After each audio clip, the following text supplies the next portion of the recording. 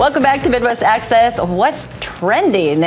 Two new movies shook up the weekend office box. The ballerina vampire movie Abigail fell from number five, sinking its teeth into $5.3 million.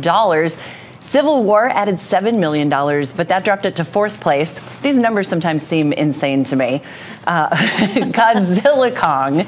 Would you go see this? No, no. absolutely not. This would be something that my boyfriend would probably go and really? see. I think so, yeah. it's uh, Godzilla Kong, the new empire. It stayed in third place with 7.2 million. Unsung hero about the family of a singing duo for King and Country and oh, excuse me, and for King and Country opened in second place with 7.8 million dollars and the tennis romantic drama Challenger, starring Zendaya, took the match, scoring $15 million to debut at number one. I love Zendaya. She's like so it? awesome. Yeah, She's she can do anything. So cool and so just fantastic. Right. That would I haven't. Um, I don't usually. I'm not able to get to the movies very often, but that looked like one that like maybe it would be right? worth going and checking out. I've it. seen some of the trailers and some of the little previews and whatever, and it, it looks it, good. It looks interesting. It does. It does. does.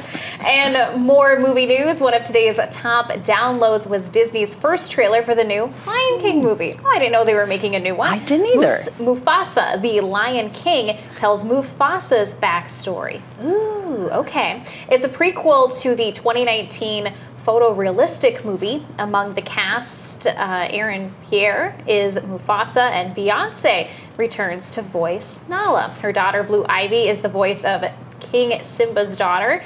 A number of actors from the 2019 film cast are also returning. Mufasa the Lion King hits theaters on December 20th.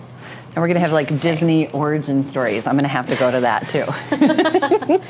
well, a Nebraska couple did not let a tornado cancel their wedding plans. These guys are hardcore. Jessica and Austin Bracker got married Saturday in Waterloo.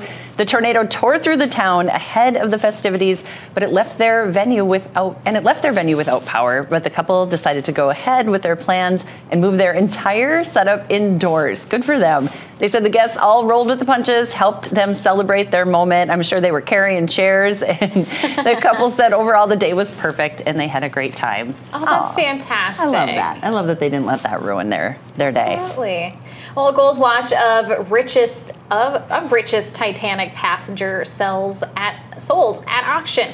The gold a excuse me, a gold watch worn by the wealthiest passenger aboard the Titanic sold at auction for a record-breaking 1.5 million dollars. Wow. That was several times the estimated value of the timepiece before Saturday's auction.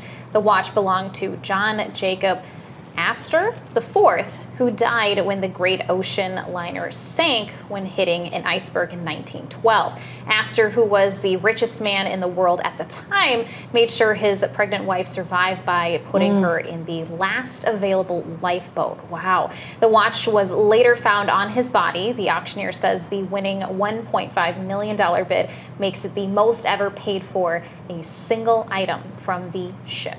Wow. Yeah, that's a lot for a watch. Absolutely. Crazy. the next story shows what can happen when you give a hoot. Iowa police officer Aww. Officer Mason Roberts was surveying storm damage over the weekend and he found an animal in need. He and another officer were just kind of rummaging through the debris at Oakwood Cemetery Saturday morning and somebody told them about a bird that they'd found. They didn't waste any time. They scooped in, swooped, in for the rescue, and the baby owl is still feeling sore from its injuries, I'm sure. Uh, but the bird was transported to the Iowa Bird Rehabilitation Center, and he's already showing signs of progress. Sunday, uh, excuse me, showing signs of progress already on Sunday, and the owl will soon be transferred to another rehab center, but it'll be a couple months before he's back in the wild. I mean, oh, that must be a little little guy right? because he's still so fluffy. he looks like a stuffed animal, really. He does. Oh. I don't think I've seen an owl like that it's adorable. No, I, yeah, so, so fluffy like that. So cute. so, we still have lots to come. Sing Out Loud has this concert coming up at Trinity Lutheran Church, and you will get a sneak peek when we come back.